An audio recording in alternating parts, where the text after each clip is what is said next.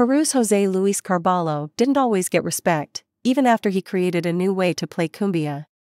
On Sunday, the Peruvian Fest Chim Pum Callao at LA Plaza de Cultura y Artes will present one of the most emblematic guitarists of chicha music.